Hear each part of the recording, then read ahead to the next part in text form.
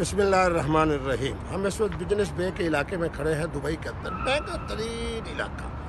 ये जो एक इमारत, फिर उसके साथ दूसरी इमारत, फिर उसके साथ तीसरी इमारत, फिर वो चार इमारतें इकट्ठी। ये किस शख्स ने मुल्क को लूटा?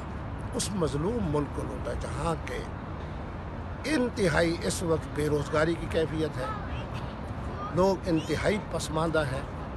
मकरूज़ एक मुल्क है। इस्लाम के नाम पे जो मुल्क बना है, उस बेचारे मजलूम मुल्क को लूटने वाला एक बदनसीब सबक वज़ी ख़जाना मोहतरम इसहाक डार साहब। मैं मोहतरम इसलिए कह रहा हूँ कि मेरे अंदर ज़मीर ज़िंदा है। मैं नहीं चाहता कि उसके लिए मैं कोई ऐसे लफ्ज़ इस्तेमाल करूँ। उस बदनसीब ने पाकिस्तान को लूटने के बाद ये तीन इमारतें और उसके साथ चार इमारतें ख़रीदी और आज इनका किराया वो खा रहा है।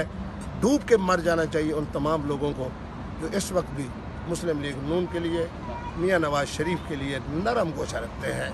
मैं तमाम अपने पाकिस्तानियों को बड़े अदब के साथ कहता हूँ कि चोरों को समझो, चोरों को समझो। चोर भी जानो और चोरों की बैग के ऊपर जो तशरीफ़ लाए थे हमारे एक हम शक्ल, उसको भी आप पहचानो। मैं अपने मुल्क के तमाम इदारों को कहता हूँ कि इन हवाले से अपनी तहकीक का